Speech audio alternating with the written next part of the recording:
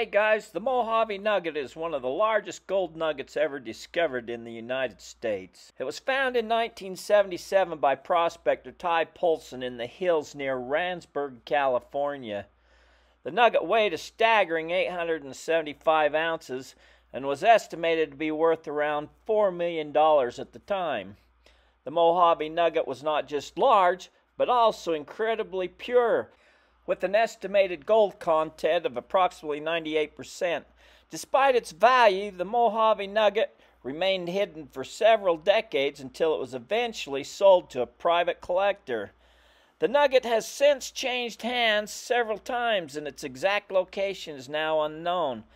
However, the story of the Mojave Nugget continues to inspire gold prospectors and treasure hunters across the country. It serves as a reminder of the wealth of mineral resources still waiting to be discovered in the American Southwest and beyond. Whether you're an experienced prospector or just a curious amateur, the Mojave Nugget is a fascinating and valuable discovery that is sure to capture your imagination.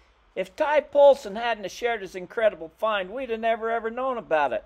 So if you've found something incredible like Ty Poulsen or you know about some out of place archaeology stuffs, get a hold of me. The rest of the world would love to hear your story. Do me a huge favor. Don't forget to hit the like button, leave a comment, and subscribe if you haven't. I don't know if it helps me with YouTube or not, but it sure makes me feel better. And with that said, that's a wrap. Bye.